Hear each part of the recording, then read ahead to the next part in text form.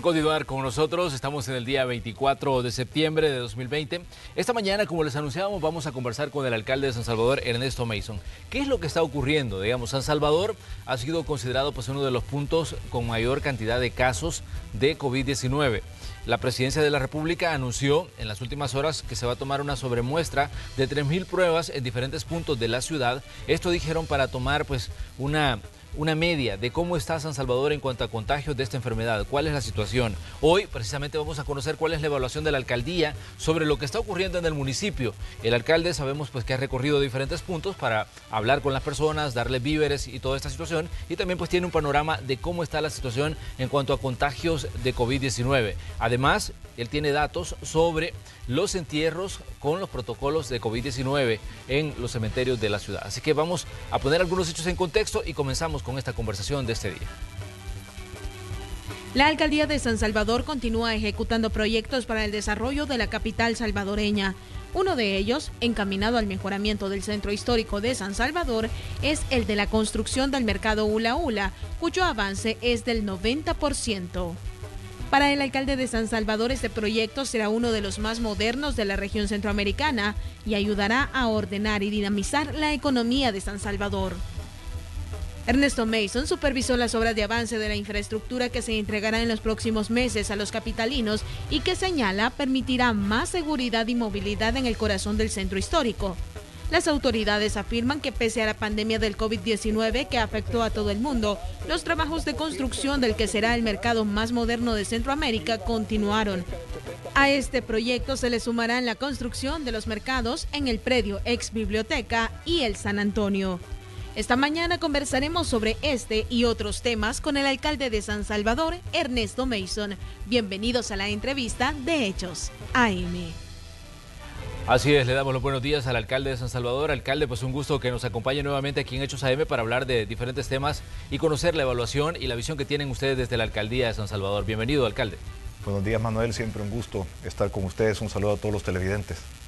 Alcalde, antes de, entrar, digamos, en materia con los temas municipales y los temas políticos, también le queremos dar pues las condolencias a usted y a su familia por el fallecimiento de, de Felipe Mason, a quien todos conocíamos cariñosamente pues como Pipe. Vaya nuestra solidaridad para usted y para pues todos sus seres queridos ante esta pérdida que han sufrido. Muchas gracias. Eh, alcalde, comencemos hablando sobre la situación de, la COVID-19. ¿Tienen ustedes, digamos, datos de cuántos, de cuántas personas ah, pues, han fallecido y se han enterrado con protocolos COVID en los cementerios de San Salvador? Porque siempre pues estábamos a la expectativa de esa información que usted manejaba, pues, con el tema de los cementerios.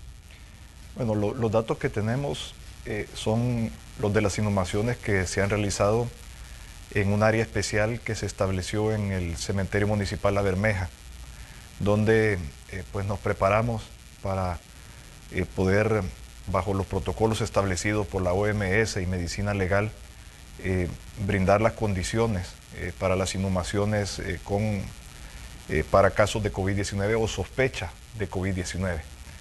En ese sentido, pues han sido más de 1.100, un poco más de 1.100 inhumaciones que se han realizado, no solo del municipio de San Salvador, porque en un inicio estuvimos apoyando a más de 100 municipios de todas las partes del país que no reunían las condiciones o no tenían espacio en sus cementerios municipales.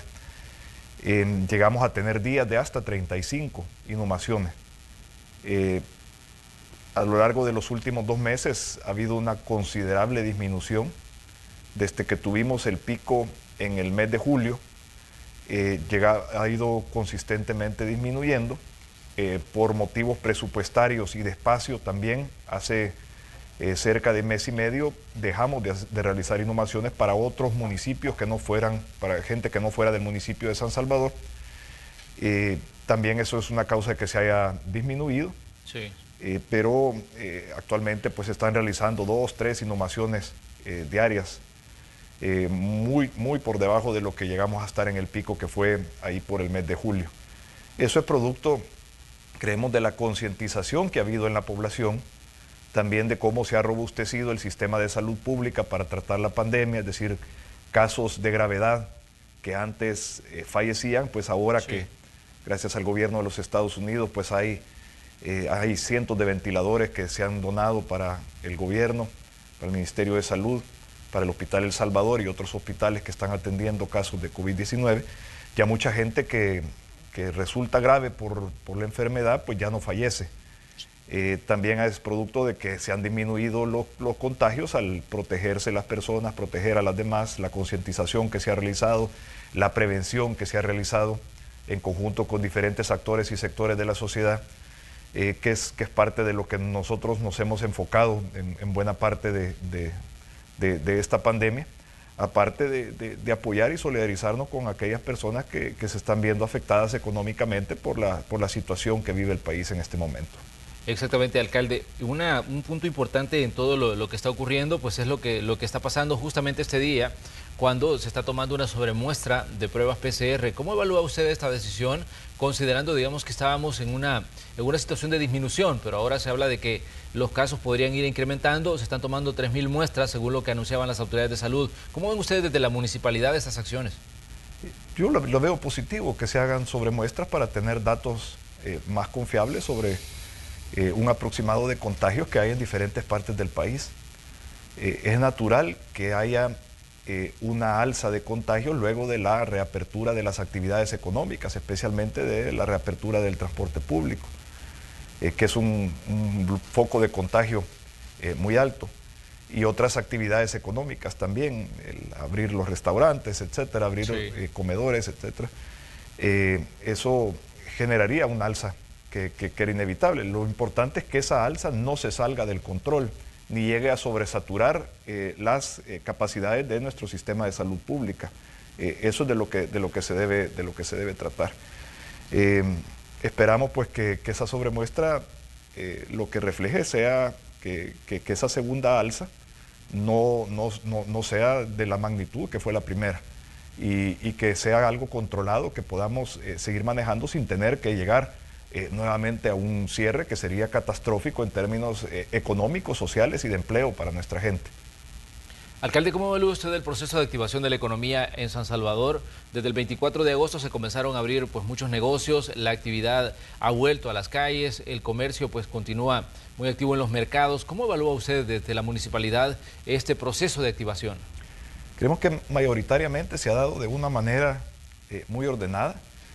Eh, los diferentes eh, negocios y actividades económicas se han adecuado a la nueva normalidad, tomando las precauciones eh, establecidas y los protocolos de bioseguridad que se consensuaron con los diferentes sectores. creo que eso es muy positivo.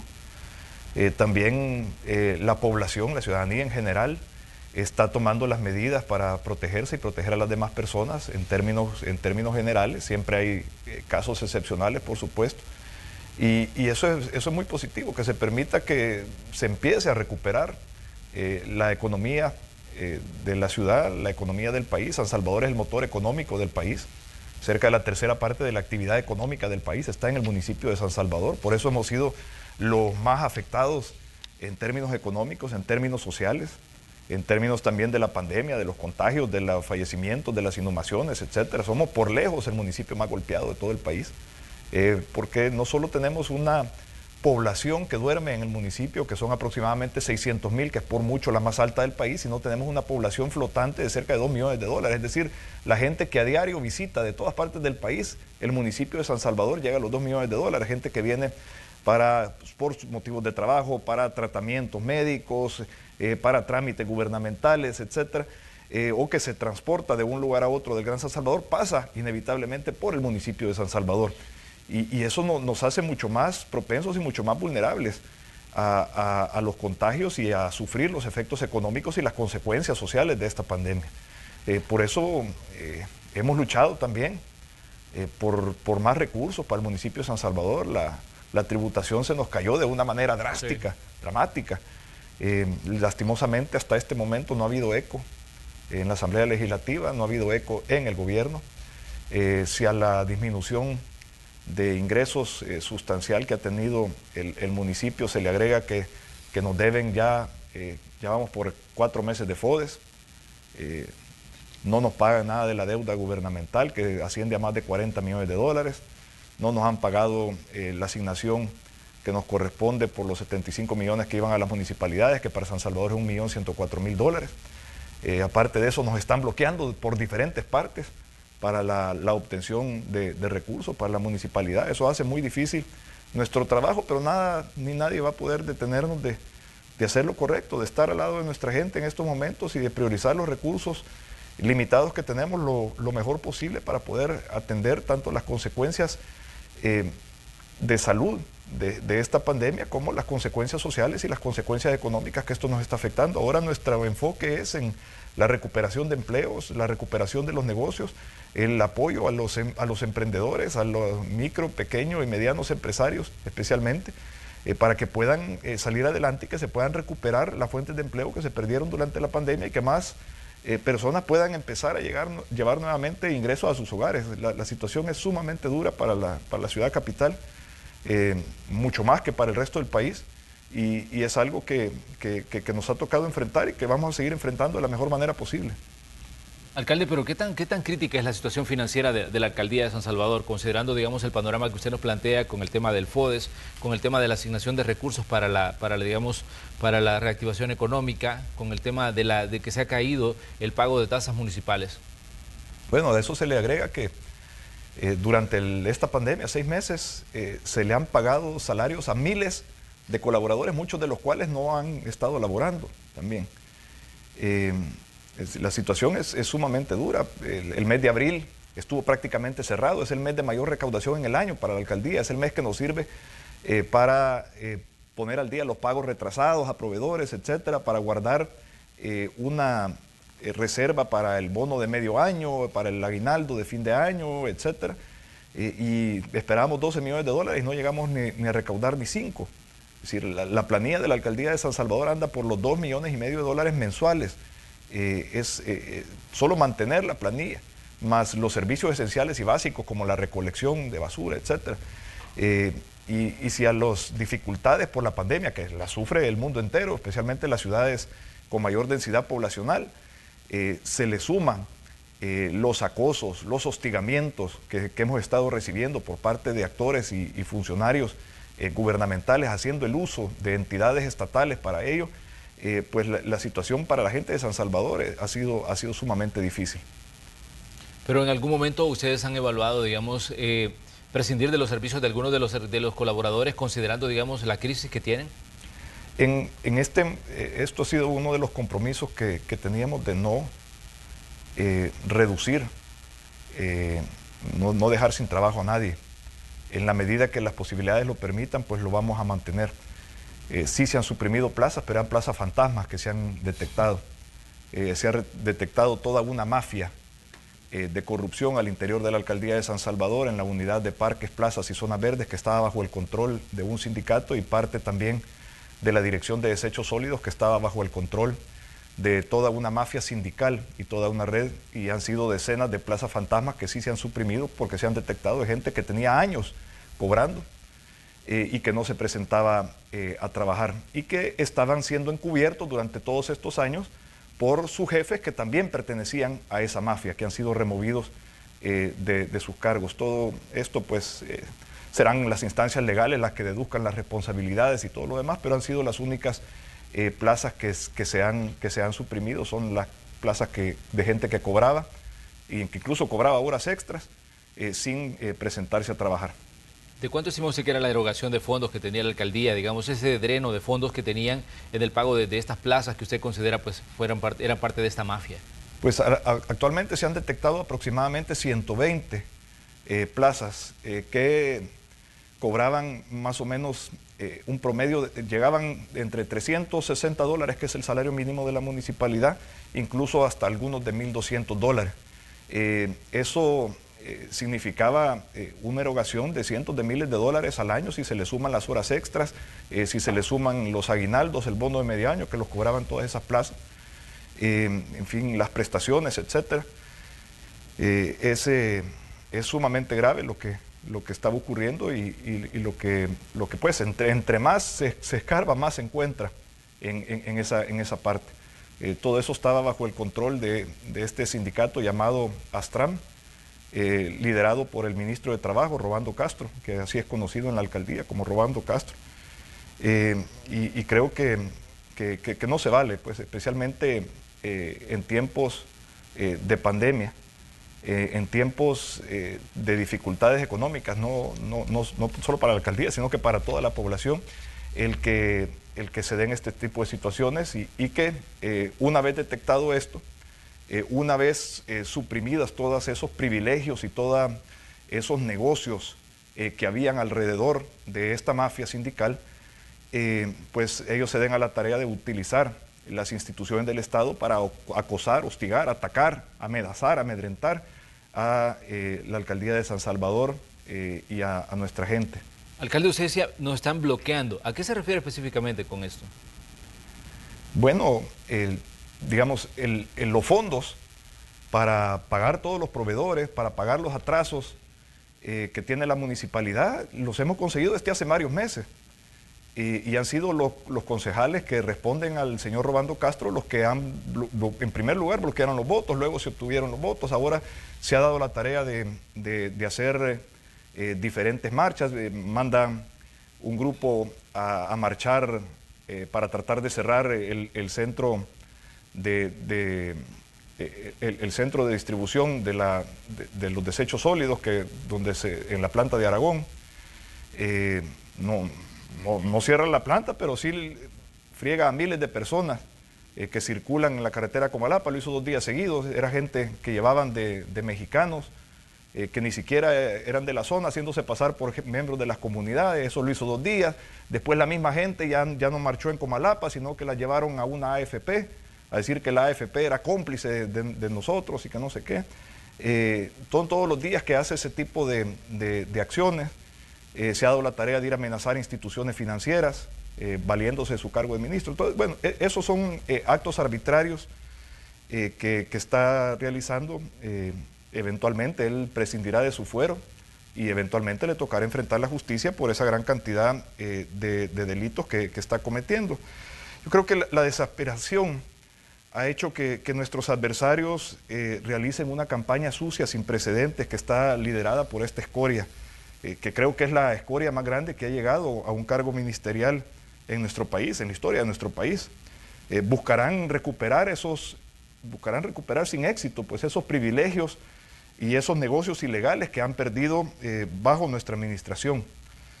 si creen que esas campañas sucias, esos bloqueos, esos acosos, esos hostigamientos, usando instituciones y recursos del Estado incluso, eh, les van a hacer ganar una elección, están muy equivocados y están muy mal asesorados.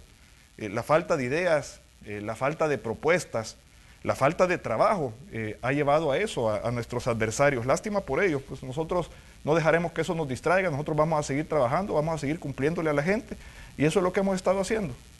Alcalde, hace unos días hablábamos nosotros con, con Milagro Navas, que es la presidenta de Comures, y hablaba del tema del, tema del FODES. Ella incluso eh, hacía una, daba una conferencia de prensa donde, donde mencionaba pues, la situación que están pasando algunas alcaldías. Había una respuesta de parte del ministro de Hacienda, Alejandro Zelaya, que decía eh, que los fondos no se les han dado a los alcaldes porque son los mismos diputados los que están bloqueando los fondos que ha solicitado el Ejecutivo. ¿Cómo ve usted esta discusión en la que están también en medio pues, las alcaldías con, la, con el tema del FODES, que llevan pues, ya varios meses de atraso, como usted bien lo planteaba? No es cierto, y ha quedado en evidencia que el gobierno ha tenido más de 3.200 millones a, su disposición y ha hecho uso de esos 3.200 millones. Eh, no es falta de fondos, es falta de voluntad. El dinero ahí está, el dinero lo tienen. Es, eh, ganas de ahogar eh, financieramente a las municipalidades. quisiera pensar que no es por, por temas político-electorales, pero sí pareciera ser. y es verdaderamente lamentable porque no, son, no es a los alcaldes a los que le hacen daño, es a la gente a la gente que recibe los servicios municipales, a la gente que, las alcaldías eh, son, somos los funcionarios más cercanos a ellos y que le atendemos y resolvemos sus problemas y sus necesidades. A esos son a los que están afectando con estas decisiones eh, políticas eh, electorales. Pero ¿cómo ve usted, por ejemplo, las posiciones que se han asumido en la Asamblea Legislativa por fracciones como la de Arena? Pues la posición de Arena ha sido de pedir transparencia y pedir rendición de cuentas y un uso, un uso de los recursos un uso detallado de cómo se van a emplear esos recursos. Eh, eso es lo que ha pedido eh, Arena eh, y es lo que nosotros apoyamos, que haya rendición de cuentas, que haya transparencia en el uso de los, de los recursos. Y en ningún momento se han negado recursos y se le han aprobado 3 mil millones de dólares al, gobierno. aparte de que ya se le había aprobado un, presupuesto que llevaba cerca de 800 millones de dólares de deuda adicional. Eh, Arena ha estado apoyando eh, al gobierno, lo que sigue exigiendo transparencia, exigiendo eh, un detalle en el uso de los fondos y exigiendo rendición de cuentas. Ahora bien, pero esa es una situación que se ha convertido, digamos, en una, en una historia que no termina. El tema de los choques entre órganos de Estado. Hemos visto choques entre el Ejecutivo con el Legislativo y ahora incluso con, con la Sala de lo Constitucional. ¿Cómo vemos esta situación considerando, digamos, que esto genera un poco de crispación a nivel político y también, digamos, genera un panorama un tanto complejo rumbo al proceso electoral del 28 de febrero? Me parece lamentable para el país eh, que no haya voluntad de varias partes. y aquí no es de culpar solamente a uno, sino de culpar la voluntad que, la falta de voluntad que ha existido eh, de varios actores. Nosotros, eh, en el caso de la alcaldía de San Salvador, lo que hemos buscado es poner por delante a la gente, poner por delante a la ciudad y, tratar de trabajar con todos. Eh, hemos buscado, aún en medio de, de ya un inminente proceso electoral que se avecina, de trabajar de la mano con el gobierno, de apoyar al gobierno en aquellas cosas que sean beneficiosas para el país. Eh, de trabajar con el sector privado, trabajar con la cooperación internacional, trabajar con la ciudadanía, etc. Eh, y creo que es lo que debería estar haciendo el gobierno, lo que debería estar haciendo la Asamblea Legislativa también. Eh, poner por delante a la gente y dejar de lado los intereses políticos, electorales, partidarios o particulares. lastimosamente no ha sido el caso. Y ojalá haya una reflexión y por la vía del diálogo, por la vía del consenso, eh, se ponga por, delante a nuestra gente y por delante a nuestro país para, poder sobreponernos de estas dificultades, eh, para salir eh, de una manera exitosa o, digamos para minimizar las consecuencias negativas de esta pandemia y sus consecuencias económicas y sociales, solo podemos hacerlo unidos. Y, lastimosamente no se está viendo esa unidad de nuestros líderes en este, en este momento.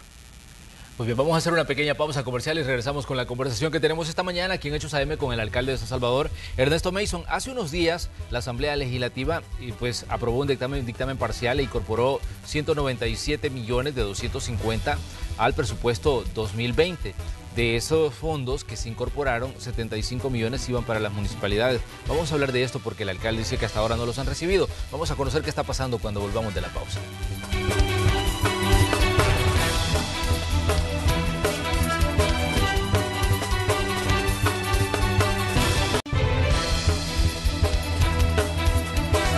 Continuamos con más de Hechos AM. Hoy en el espacio de la entrevista conversamos con el alcalde de San Salvador, Ernesto Mason. Estamos hablando de diferentes temas municipales y también temas que tienen que ver con el acontecer político del país. Hablábamos de los fondos de rescate de la economía, de los cuales pues, un porcentaje se va a entregar a las municipalidades. Les mencionábamos que hace unos días la Asamblea Legislativa incorporó de forma parcial un crédito de un crédito de 250 millones, 197 al presupuesto 2020. De esos fondos, una parte iba para las municipalidades. Alcalde, usted nos decía que todavía no han percibido lo que le corresponde a San Salvador de esos fondos que fueron incorporados de forma parcial. Sí, no, se ha recibido eh, nada de esos fondos, a pesar de que ahí están, a pesar de que están aprobados, a pesar de que los tienen en caja. Eh, no ha habido voluntad de asignarlos a las alcaldías. Eh, aparte de eso, esa asignación, como tú sabes, se hizo de una manera sumamente injusta, bajo el criterio FODES, que es un criterio que no aplica para esto. Debió haberse hecho en base a la población. de esos recursos que asignan a las alcaldías al municipio de San Salvador, que como te decía anteriormente, tiene la tercera parte de la actividad económica del país, tiene el 9% de la población, eh, tiene cerca del 20% de la gente que ha fallecido, eh, casi más de la cuarta parte de las inhumaciones se han realizado en este municipio también. Eh, apenas le están asignando el 1.47% de esos recursos. ¿Cuánto corresponde a San Salvador de, los 75 millones? Le corresponden un poco más de 8 millones. De, los 75 millones es 1.104.000 dólares, que no nos los han dado. Eh, pero de los 600 millones que le asignaron a la alcaldía, le están tocando a San Salvador un poco más de 8 millones de dólares. Eh, de lo cual hasta este momento solo se ha recibido 1.5 aproximadamente. Es lo único que hemos contado extraordinario para enfrentar esta pandemia y sus consecuencias económicas y, para poder eh, tratar de apoyar no solo la contención de la pandemia, la prevención de la enfermedad, sino también la reactivación económica, el apoyo social y solidario a la gente más afectada, más golpeada. Eh, lastimosamente no hemos contado con los recursos.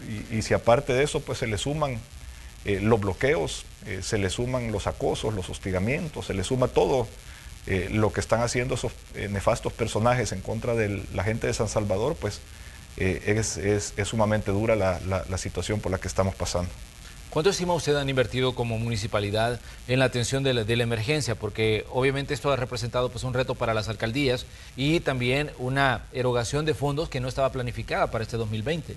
Sin contar los salarios, porque prácticamente hemos tenido volcado a todo el personal que ha estado trabajando en, el tema de, la pandemia y en la prestación de los servicios esenciales y básicos de la municipalidad, como es la recolección de basura, etcétera, eh, pues se han invertido eh, directamente en atender la pandemia, en las bolsas solidarias que se están dando a la familia, en la prevención, en sanitizaciones, higienizaciones que se realizan, etc. Eh, cerca de 6 millones de dólares en, este momento, sin contar salarios.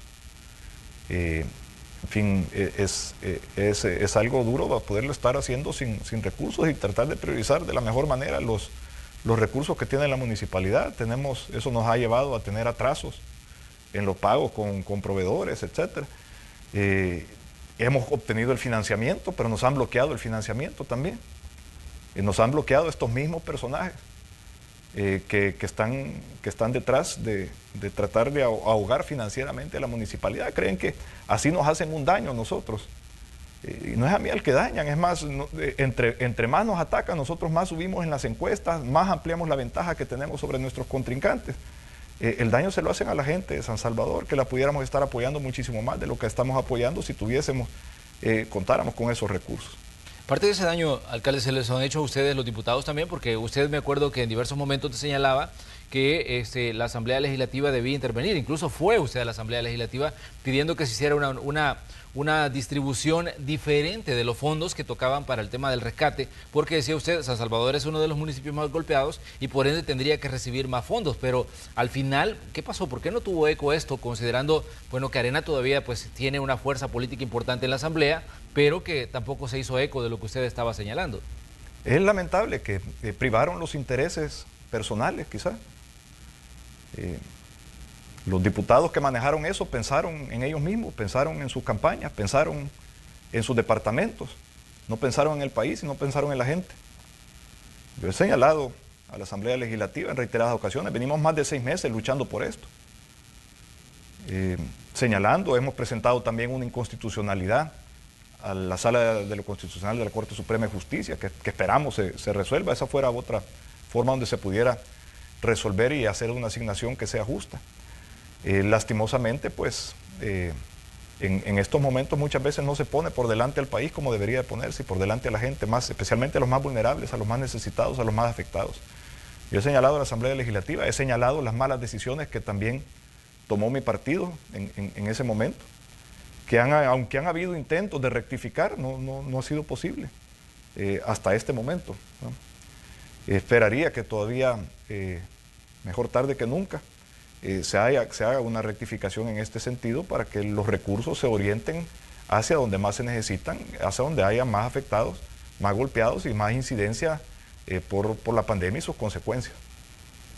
Ahora bien, ¿cuánto tiempo prevé usted, alcalde, que San Salvador pueda retomar, digamos, el ritmo que traía antes del periodo de pandemia? ¿Cuánto tiempo puede llevar ese proceso de recuperación de un lugar que decíamos es muy activo en cuanto a comercio? Ya lo, hemos dicho en diversos momentos que es uno de los centros neurálgicos de la actividad económica del país. Y una de las interrogantes es eso, el reto de, reactivarse, el reto de readaptarse a esto que se ha denominado la nueva normalidad y la recuperación de los, digamos, del auge que se tenía antes del periodo de pandemia? Mira, eh, nuestra gente es aguerrida, es trabajadora. Eh, nuestra gente siempre sabe levantarse y sabe superar eh, los obstáculos y las adversidades que, hemos vivido como país y como población. No me cabe duda que, San Salvador y el país se, van a levantar. Lo que creo que, esa recuperación pudiera ser muchísimo más rápida, muchísimo más ágil, si se tuvieran los recursos necesarios y si se tuviera el apoyo eh, por ejemplo, eh, si tuviéramos entidades gubernamentales trabajando por generar confianza, reglas claras y, un clima adecuado para recuperar la inversión y el trabajo, pero lo que, lo que vemos son eh, señales que van completamente en contra de eso. Eh, tenemos un ministro de Trabajo que pareciera ser un ministro de desempleo, que, no solo acosa a las municipalidades, sino también a las empresas privadas, a los generadores de empleo de nuestro país. y eso, es, eso trae consecuencias sumamente negativas para, para, nuestro país. yo creo que no solo es conveniente eh, sino también es, es necesario eh, que los miembros del gabinete de gobierno sean sometidos regularmente a exámenes toxicológicos y psiquiátricos. Eh, el daño que acciones como estas del ministro de Trabajo le hacen al país es incalculable. Manuel, y, no me cabe duda que, que, que Nayib Bukele sabe perfectamente la clase de escoria que su ministro de Trabajo, que es su ministro de Trabajo y el enorme daño que él eh, le hace al gobierno, a su gobierno. Eh, él tendrá sus razones eh, para no removerlo de su cargo, pero me parece muy lamentable y muy desafortunado para el país, que, especialmente en este momento tengamos actores así, que, que estén haciendo muy difícil la recuperación económica y social del Salvador. ¿Qué tanto se están colando los temas político-electorales, alcalde, en todas las decisiones que están tomando en este momento? Porque obviamente para El Salvador es complicado el hecho de que estemos en un 2020 que es, digamos, la antesala de un proceso electoral programado para el 28 de febrero y todo se está salpicando de, los temas electorales en medio de, las decisiones que tienen que tomar sobre la situación de pandemia. Eh, es, lamentable, ¿verdad?, que pareciera que por motivos políticos, electorales, se estén tomando decisiones en contra de la población. Eh, no es en contra de los partidos, no es en contra de los gobiernos municipales, es en contra de la gente que están tomando eh, esas medidas. Eh, es verdaderamente lamentable. Pero ¿cómo Yo creí que, que, se iba a poder separar el tema electoral y unirnos como país para, para, enfrentar esta situación difícil que, que estamos viviendo. Y eso es lo que nosotros hemos hecho y eso es lo que nosotros seguiremos haciendo desde la alcaldía de San Salvador. Sin importar las diferencias políticas, partidarias, vamos a seguir tratando de unir esfuerzos y vamos a, seguir tratando de trabajar con todos. Eh, pero lastimosamente eso no es lo que ha privado en, otras instancias gubernamentales eh, o en otros poderes del Estado. Y, es, eh, ojalá pues que, haya una reflexión. Y, además yo creo que no les ayuda electoralmente al que, al, al que vela solamente por sus intereses. Creo que al final el pueblo los va a castigar electoralmente a los, que, a los que busquen la división, los que busquen la confrontación, los que busquen los ataques, la campaña sucia eh, y el eh, politizar eh, temas tan graves como la pandemia y sus consecuencias económicas. Alcalde, pero los sondeos de que, hemos visto, por ejemplo, el, que publicaba una, universidad en estos últimos días, dan una, una, clara intención de voto a favor de nuevas ideas y vemos que partidos como Arena y como el FMLN no logran despuntar. Eh, ¿Qué es lo que está pasando ahí, alcalde, con el tema de la intención de voto del ciudadano en medio de esta situación? El tema de la intención de votos por partido es cosa del pasado. Ahora la, gente, y eso te lo dicen las mismas encuestas, el 90% de la población vota por personas. Eh, por las personas que les han cumplido, por las personas que han estado cercanas a ellos, por las personas que presentan las mejores propuestas, las mejores opciones. Y, priva muchísimo más eh, la persona y los candidatos que el partido político al que pertenece. Y, creo que, eso es algo que, tiene que ver, deberían de, evaluar en las encuestas. Eh, el presidente Nayib Bukele es sumamente popular, pero el presidente Nayib Bukele no va a elecciones, sino van una serie de candidatos ahí que, ni por cerca. ¿verdad? Eh, entonces, yo creo que lo que va a privar es eh, la, calidad de las personas que vayan a candidatearse, tanto para alcaldías como para la Asamblea Legislativa, y las propuestas eh, que ellos realicen en estos cinco meses que faltan para la contienda electoral. Pero ¿cómo ve usted la medición de fuerzas en San Salvador, por ejemplo? Se, menciona que la, contienda estará entre usted como alcalde que busca la reelección, con Mario Durán que va por Nuevas Ideas y gana, y este, Rogelio Canales que va por el FMLN. Bueno, nosotros eh, medimos constantemente nuestra gestión y tenemos un, un apoyo donde más de 8 de cada 10 capitalinos apoyan nuestra gestión, el rumbo que lleva San Salvador y el trabajo que estamos realizando en la alcaldía de San Salvador. Y, pues eh, abrumadoramente tenemos una, una, ventaja en las preferencias electorales. Eh, eso nos, nos motiva a, trabajar más duro, a redoblar los esfuerzos para, para continuar eh, no solo manteniendo esa aceptación, sino incluso incrementándola. en la medida que nosotros sigamos cumpliéndole a la gente, en la medida que sigamos trabajando por ellos, poniendo por delante a la ciudad, poniendo por delante a la gente, nosotros cuando llegamos a un lugar no le preguntamos eh, cuál es el partido político de su preferencia, si votaron o no votaron por mí, o, si van a votar o no van a votar por mí. Le preguntamos cuáles son sus necesidades, cuáles son sus problemas y debemos de atenderlos y debemos de resolverlos. Y, eso nos ha dado un, rédito eh, importante. Y eso es lo que vamos a continuar haciendo. Y, nuestros adversarios han querido meternos a la confrontación, han querido eh, atacarnos, eh, difamarnos, calumniarnos, etcétera. No vamos a entrar en ese juego, no vamos a dejar que eso nos distraiga, no vamos a dejar que eso nos eh, distraiga de nuestro trabajo y de las cosas importantes que es eh, apoyar a nuestra gente, especialmente a los más vulnerables, a los más necesitados en esta situación tan dura y tan difícil que vive nuestro país y nuestra ciudad. Pero ¿cómo ve usted la coalición gana nuevas ideas, alcalde, considerando, digamos, que Arena, Arena va sola en esta contienda por San Salvador? ¿no? Que no es una candidatura de Arena, es una candidatura de, de un equipo que está alrededor de, mi persona y, de una forma de hacer política que nos ha funcionado en, San Salvador, eh, apartando los, intereses y los colores políticos y partidarios y poniendo por delante a la gente y a la ciudad. Eh, nosotros vamos con la gente. Ellos pueden unir varias banderas políticas. Se pueden hacer un combo entre todos. Si nosotros estamos del lado de la gente y con la gente, eh, vamos a salir bien. Y si le seguimos cumpliendo a la gente como lo hemos venido cumpliendo a pesar de las adversidades y dificultades que nos ha tocado enfrentar. Lo vamos a seguir haciendo y no me cabe duda que vamos a salir bien. Alcalde, ¿cómo ve usted los posibles cambios que se avecinan en las aritméticas políticas en lugares como la Asamblea Legislativa? Porque definitivamente el 28 de febrero puede marcar un antes y un después en la historia de, cómo se distribuyen las fuerzas en ese órgano de Estado. Yo creo que eh, para el fortalecimiento de un sistema democrático republicano y para el fortalecimiento de nuestro Estado de Derecho es importante que haya un balance de poder y pesos y contrapesos. El, poder total, el poder absoluto, es algo que por un lado corrompe, pero por el otro lado eh, sería antidemocrático, iría en contra eh, de lo que la mayoría de, salvadoreños quieren para el país.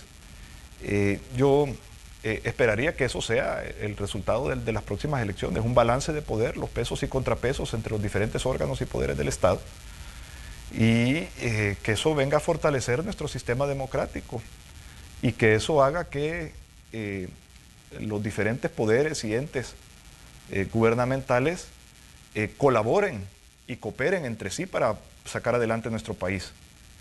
yo eso esperaría que, que, sea el resultado del próximo proceso electoral. Alcalde, hay situaciones que están todavía con el tema de la pandemia. Ustedes anunciaban un proceso de activación de, lugares como las plazas públicas y los parques. Hay una calendarización, de hecho, que comenzó el 19 de septiembre. ¿Cuáles son, digamos, las bases que han tomado ustedes para, para poner a funcionar y para abrir esos espacios a la población, considerando de que estamos en ese proceso de activación económica, mucha gente está ansiosa por, por salir y por ocupar los espacios públicos. Ustedes han puesto, digamos, una calendarización que se va a desarrollar de aquí hasta, hasta octubre. ¿Cómo ven la situación y cuáles son las bases que tomaron para tomar estas decisiones? Bueno, la, las bases que tomamos es la ubicación, el tamaño, las condiciones de cada uno de, los parques, plazas, etcétera. Eh, la circulación que hay alrededor, eh, los centros poblacionales que, que atienden. Creemos que eh, el habilitar los espacios de convivencia y de esparcimiento también son muy importantes en esta fase de recuperación, porque aparte de la recuperación económica, la recuperación social, del empleo, etcétera, también es importante la recuperación emocional y anímica de nuestra gente. Y para eso los espacios públicos son sumamente importantes. Eh, pasamos varios meses donde no se trabajó eh, por tema de disposiciones legales en el, mantenimiento de los espacios públicos. Ha habido un proceso de, trabajar para recuperarlos, no solo recuperarlos a como estaban antes, sino mejorarlos también en su ornamentación. Se han agregado también algunos equipos de gimnasio al aire libre en 19 parques, etc. Y se ha hecho tres fases de, apertura que las hemos dado a conocer, eh, donde está el detalle de, los parques, plazas zonas verdes que, se que, se estarían abriendo, algunos ya están abiertos, otros están abiertos parcialmente, otros como el Parque Cuscatlán pues se abre hasta, hasta el 5 de octubre.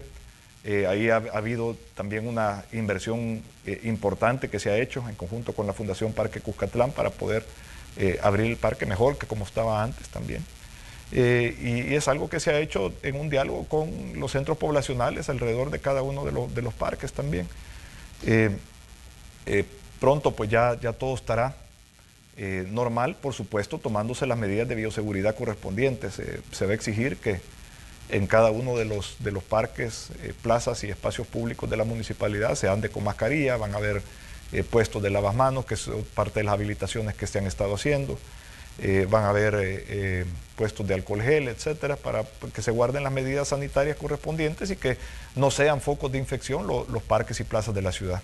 Aquí tengo yo el calendario. La primera fase inició el 19 de septiembre con la, pues, la activación de 133 espacios públicos ubicados en colonias y comunidades. La segunda fase inicia el 3 de octubre con 133 espacios, espacios más grandes ya en colonias más grandes y que son visitados por población de diferentes, digamos, puntos de zonas aledañas a esas colonias grandes. Y la tercera fase inicia el 17 de octubre con 77 grandes plazas, dice monumentos como la Plaza Morazán, la Plaza Barrios, la Plaza Libertad, la Plaza Salvador del Mundo, Parque de la Colonia Centroamérica, Colonia Satélite, entre otras. Las plazas más grandes son pues las últimas que se van a activar, alcalde.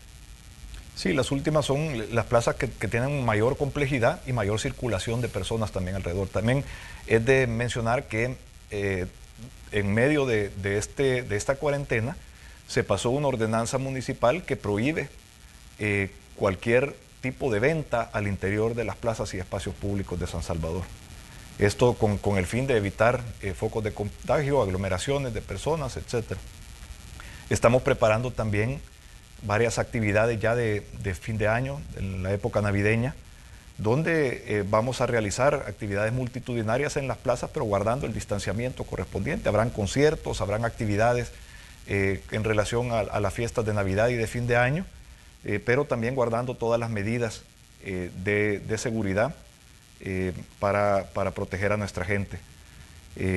debemos adecuarnos todos a la nueva normalidad. Un ejemplo de lo que se ha hecho es lo que han logrado varias organizaciones de trabajadores por cuenta propia o vendedores independientes del centro de San Salvador, que están vendiendo, incluso están vendiendo mejor que de lo que vendían antes, porque se han adecuado a las medidas de bioseguridad, distanciamiento, etcétera, higienización y, han trabajado de la mano con la alcaldía para que en conjunto eh, definiéramos los protocolos eh, para eh, su funcionamiento bajo esta nueva normalidad. Y, es un, ejemplo de lo que se puede hacer, es decir, podemos, adecuándonos, trabajar para hacer las cosas mejor de como se hacían antes. Alcalde, en la introducción que teníamos cuando comenzábamos la conversación con usted, mostrábamos algunas imágenes del, mercado Ula Ula y también hablábamos de los proyectos que, buscan eh, pues, eh, darle un nuevo espacio a los comerciantes. ¿Cómo va esto, digamos? ¿Para cuándo estiman ustedes que ya esta gente va a comenzar a ubicarse dentro de estos nuevos espacios para desarrollar sus actividades cotidianas? Bueno, el, mercado estará listo en diciembre. Eh, es una, eh, bueno, es la inversión más grande que se hace en el centro histórico de San Salvador en, 50 años. Eh, desde principios de los años 70, pues prácticamente se fue abandonando y se dejó de invertir en, el centro de San Salvador. Y, esta, esta inversión, producto de un asocio público-privado, trae varios beneficios para nuestra ciudad. En primer lugar, pues nos da un mercado moderno, seguro, en, en el centro de la ciudad. En segundo lugar, pues miles de vendedores que ahora venden a la intemperie, presa de las pandillas, de las extorsiones, de los usureros, pues ahora van a vender en un eh, lugar seguro, moderno, adecuado, agradable, eh, que, hará que los visiten más clientes con mayor poder adquisitivo también, que les permitirá mejorar sus ventas. Van a pasar de la informalidad a la formalidad, van a poder eh, tener opciones de, de, financiamiento en condiciones de mercado, eh, van a poder invertir a mediano y largo plazo en sus negocios. O sea, no solo se está eh, transformando una parte de la ciudad con esa obra de infraestructura, sino que se van a estar transformando miles de vidas con, con, el mercado Ula Ula. Eh, se va a liberar la calle Rubén Darío de ventas en las calles y en las aceras. Eso es parte de nuestro proyecto del corredor urbano que busca conectar el, Parque Cuscatlán, que es otra obra que se inaugura durante nuestra gestión, con el centro histórico de San Salvador. se está también dentro de ese proyecto remodelando la, Plaza Simón Bolívar, la Plaza José de San Martín. y, y, eso se va a replicar también en el predio ex biblioteca y hay unos temas registrales que se están evacuando para poder iniciar ese mercado y otro mercado también en el distrito 3 de San Salvador. Eh, estas, eh, estos tres mercados tienen una inversión de 55 millones de dólares eh, entre los tres y, son, son, una muestra pues, de lo que se puede hacer cuando se unen esfuerzos con diferentes actores y sectores de la sociedad para lograr beneficios para nuestra ciudad, volviéndola más atractiva a la inversión, más atractiva al turismo y generando más y mejores oportunidades para nuestra gente. Muy bien, alcalde, le queremos agradecer que nos haya visitado en esta mañana de jueves. Agradecemos pues su compañía en este, en este día y la conversación que hemos sostenido. Esperamos recibirle en nuevas ocasiones para que sigamos evaluando los temas municipales y también la evolución de la, de la pandemia, de la COVID-19 y el trabajo que están haciendo ustedes como municipalidad. Gracias por estar aquí, alcalde Mason. Muchísimas gracias, Manuel, por la oportunidad y gracias a todos los que nos sintonizaron.